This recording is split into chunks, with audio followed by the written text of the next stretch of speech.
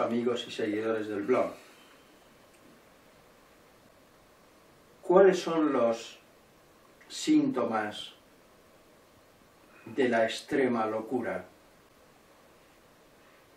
Hay muchos,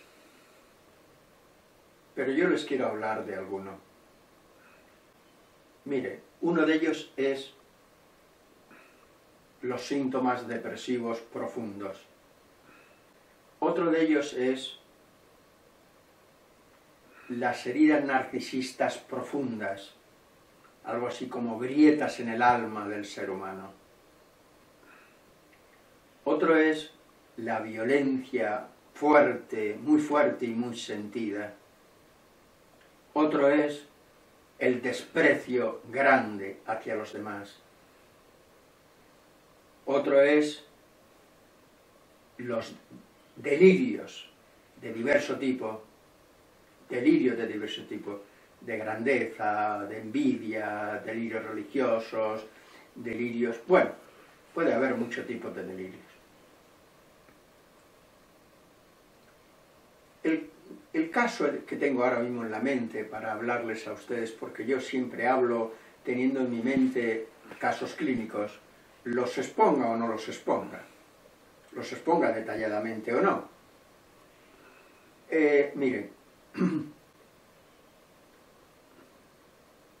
un señor tuvo la mala suerte de tener un padre que estaba muy loco, un hombre, un hombre muy engreído, un hombre muy, muy ronco, muy bronco en su forma de ser, un hombre que no tenía la capacidad de querer, de dialogar, de compartir, de abrazar, de desear, y que por tanto era humillante, era, era agresivo, era violento, era excluyente, era chafaba, humillaba, todo esto. Por otra parte, este señor tuvo también la mala suerte de bien, de tener una madre, sí, que era una buena persona, pero ahora eh, no basta con ser una buena persona, porque al mismo tiempo una buena persona también puede estar bastante loca. Y en este caso era una buena persona, pero bastante loca, que quería, mm, quería mantener a su hijo en una especie de infancia permanente, algo así como eres mi niño y yo te protejo y tienes que ser bueno y, no... Y no, y no, no, no sentirte fuerte, sentirte fuerte, sentirte hombre, sentirte, sentirte capaz, eso era algo que estaba fuera del alcance de esta mujer. Y entonces esta combinación de padre, de madre, de modelos tan patológicos los dos, eh, propició una gran locura. Y esa locura tiene síntomas muy graves porque, eh, porque mm, esta persona ante su, eh, su narcisismo herido, herido en lo más profundo de su ser, digamos que ese narcisismo se expresa, ese narcisismo se expresa en un desprecio hacia los demás. Eh,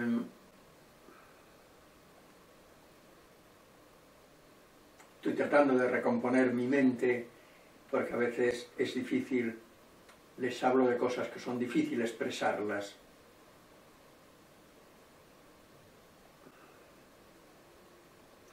Él, por ejemplo, tiene una actitud hacia la gente extranjera.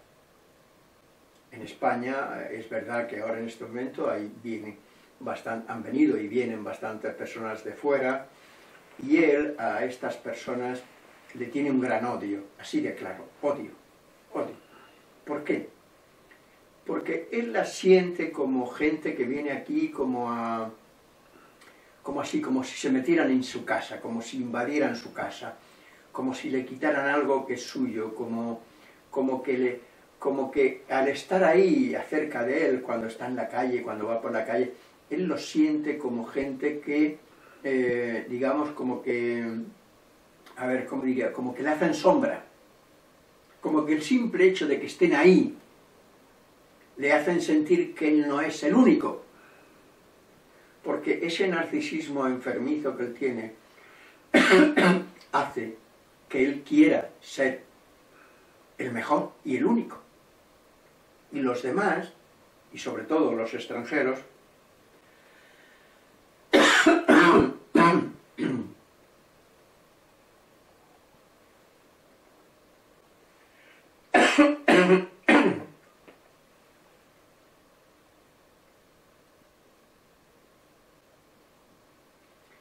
como digo, los demás, y sobre todo los extranjeros, él lo siente como como que le hacen sombra, como que le hacen no sentirse el único, como que le asaltan,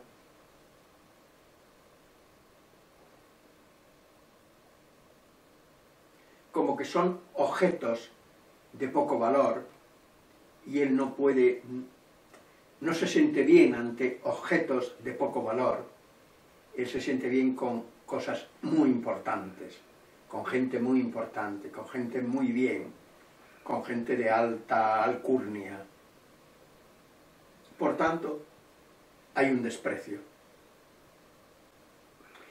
Pero ese desprecio, fíjense ustedes, que tiene el signo del desprecio que él ha recibido. Él no puede querer porque nunca aprendió a querer. Él no puede ver al otro como una realidad que está ahí fuera, diferente a la suya, y que no necesaria, y que es una realidad, una persona digna del respeto, de su respeto, como él también es digno del respeto del otro, porque todo eso él no lo ha vivido nunca, nunca jamás. Entonces él tiene muchas reacciones, muchas formas reactivas, muchas reacciones. Eh,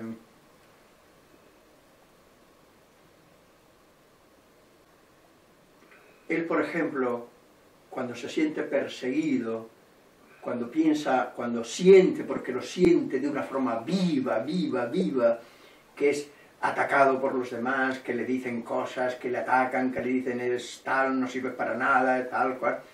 Lo que está haciendo es poniendo en la mente de los otros eh, su propio odio. Él odia a los demás de una forma muy fuerte, muy fuerte, y ese odio que proyectan los demás se vuelve contra él, pensando él que son los demás los que le odian a él y por tanto se siente atacado, se siente maltratado. Y esto se lo digo para que lo sepan ustedes, cuando encuentren una persona así, no intenten ustedes decirle eso no es verdad, eso no es así, porque estas personas no, lo, esto lo, lo, viven de una forma tan intensa, tan real, tan auténtica, que se necesita un tratamiento y muy bien hecho para, para que una persona vaya saliendo de ahí. ¿eh? Tanto, síntomas. Ah, les hablaba la depresión.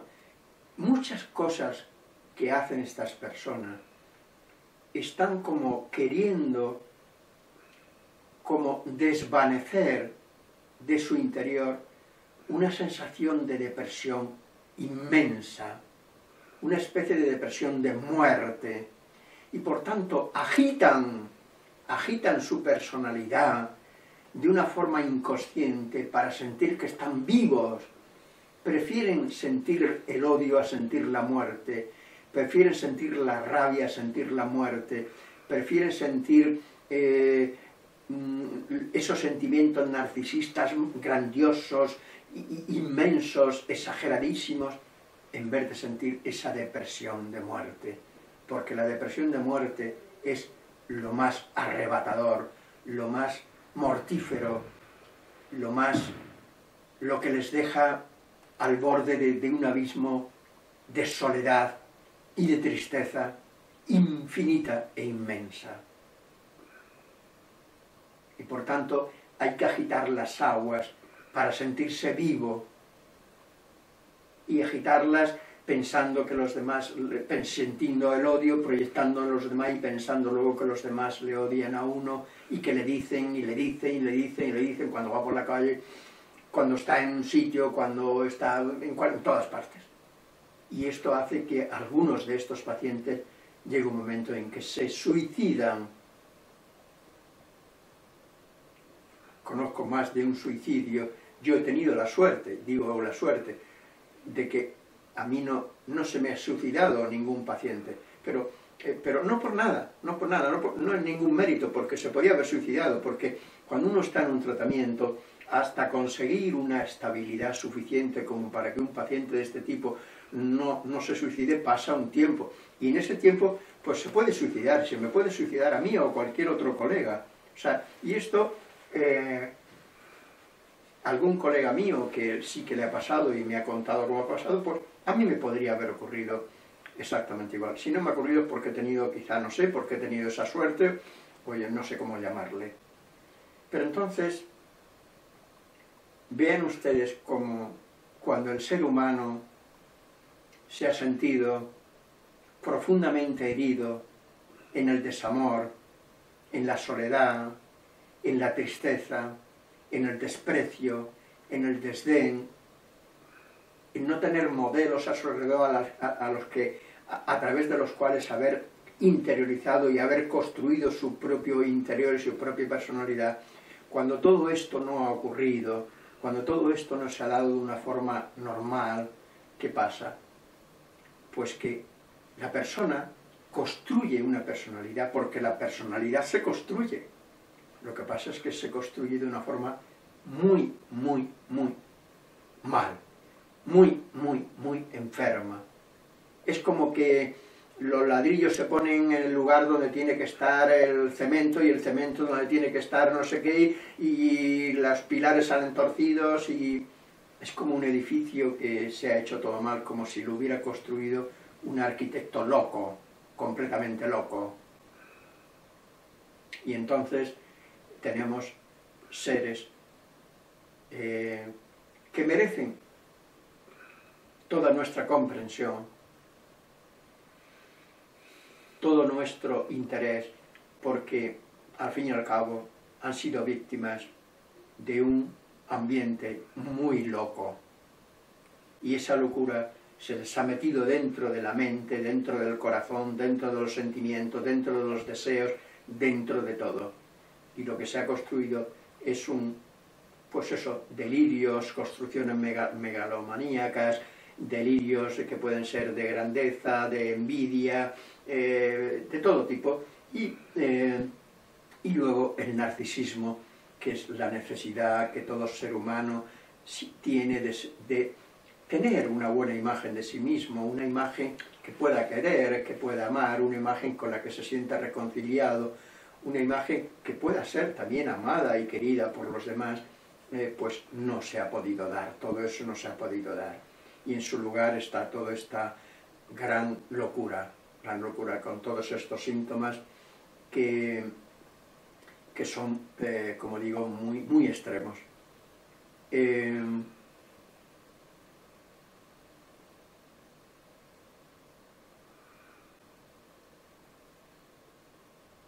como digo, como les digo, estos pacientes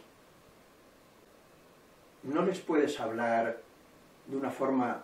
Mm, el aspecto racional eh, tiene poco eco en ellos. ¿Por qué? Porque si tú le dices, hombre, pero eso es, si no, si no te dicen nada, si la gente no te dice nada, si la gente no, no te tal, eso no tiene en ellos, no tiene eco en ellos. ¿Por qué? Porque eso, porque ellos no lo viven de una forma racional. No es eso una, no es una, una cosa que ellos vivan de una manera racional. Es como que eh, ahí aparece toda esa violencia, toda esa estructura que se ha creado dentro de una forma tan, tan extrema y tan violenta aparece de una forma viva, de una forma tremenda, como un terremoto.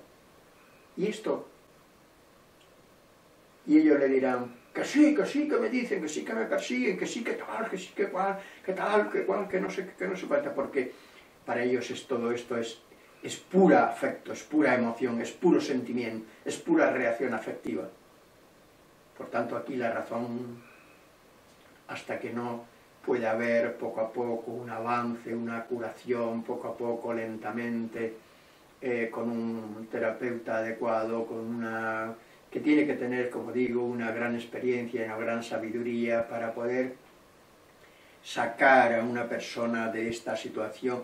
Y ojo, no siempre es posible.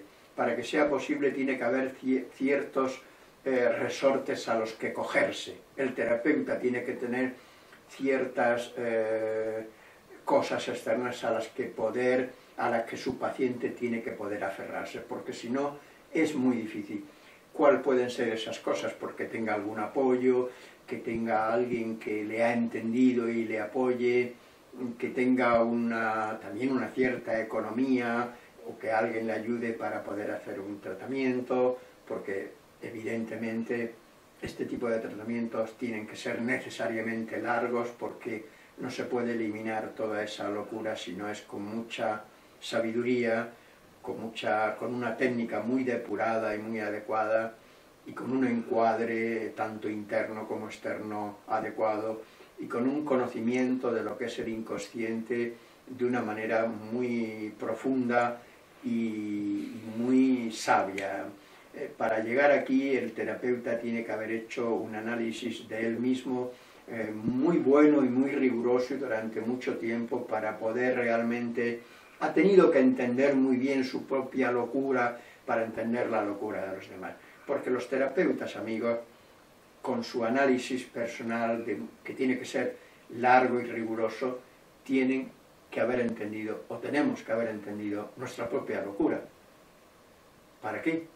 Para poder, poder entender. Si no hemos entendido nuestro inconsciente, ¿cómo vamos a entender el de los otros? Y menos el de una persona así. Por tanto, ante este tipo de, situaciones, eh, yo lo que les pido es que sean ustedes comprensivos, atentos, que muestren afecto y muestren comprensión, que no mm, tomen a risa todo esto, que no se rían, que no gasten bromas que pueden herir mucho a estas personas y que todo tiene un origen, una evolución y que esto no se no se crea de la noche a la mañana, esto se crea eh, estando en contacto desde muy muy pequeño con una gran locura ambiental, teniendo modelos muy enfermizos y, esto de una forma constante. Esto no es un trauma de, de, como diría yo, un perro me ha mordido y tengo miedo a los perros. No, nada de eso. Eso no, eso no es una fobia, como ya dije en un comentario. Esto es otra cosa, esto es un trauma prácticamente constante.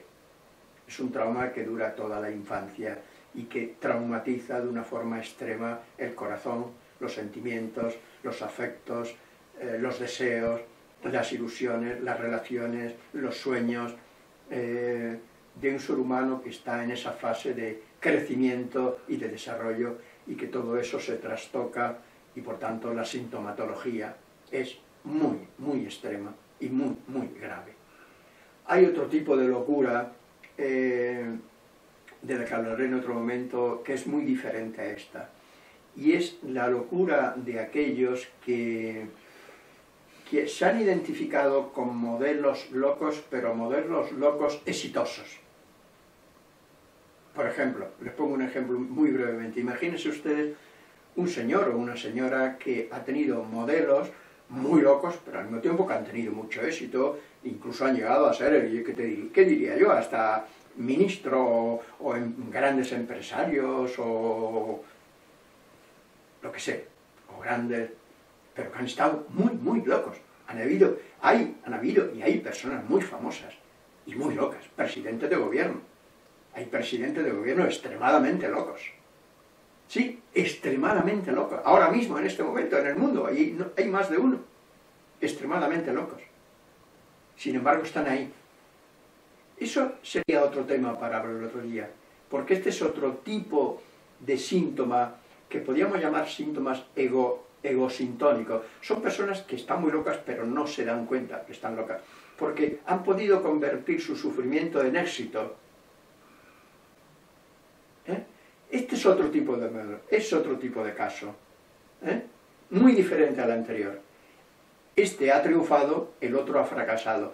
El otro ha fracasado también, pero ha podido convertir su fracaso en ese éxito social, generalmente un éxito económico, un éxito, digamos, eh, pueden haber, por ejemplo, que le diría yo, puede haber un escritor muy bueno y al mismo tiempo muy loco, pero loco en el sentido psicótico de la palabra. ¿eh? Puede haber un artista mm, que hace grandes obras y al mismo tiempo está muy loco, un presidente de gobierno, un, un, ¿qué le diría yo?, un gran científico. Pero como le digo, es otro caso, hablaré de ello otro día. Bueno, pues eh, piensen ustedes un poco en esto, al fin y al cabo las cosas de las que yo le hablo no tienen tanto una finalidad de convertirles a ustedes en grandes maestros o profesores, sino de ayudarles a entender la vida, la vida de nuestra sociedad, nuestra vida, la del mundo que nos rodea, la de la gente, entender la vida para poder tener eh, una postura diferente, más eh, sensata o más, eh, más equilibrada, más correcta ante todo aquello que nos encontramos en nuestra vida y en nuestro alrededor. Nada más y muchas gracias.